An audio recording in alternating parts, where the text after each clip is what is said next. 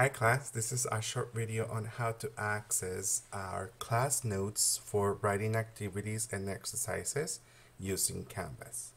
When you click on our class shell, it will take you to our home page and you're going to scroll down all the way to class notes. There's a button that says class notes.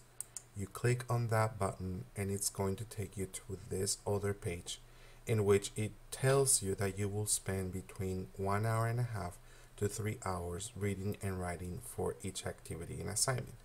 You want to make sure to set aside time to read carefully and follow instructions. Do not rush. On the same page, you will see specific links for each date and time that we are meeting uh, and also broken down by weeks. So you're going to click on the class or the link that is already available for us and then you're going this link is going to open a Google document where I have written down and laid out all the activities and instructions. At the beginning of this document, you will notice the date and time that you are supposed to turn in these activities. My suggestion is to read this page carefully, take notes as you read, and reread whatever you don't understand.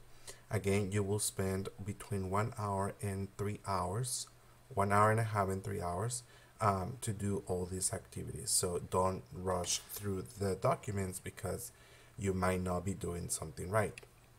Once you are ready to start working on the activities, then you go back to each of these activities and take your time to write down, copy and paste, and add your comments as you think it, they're going to be done.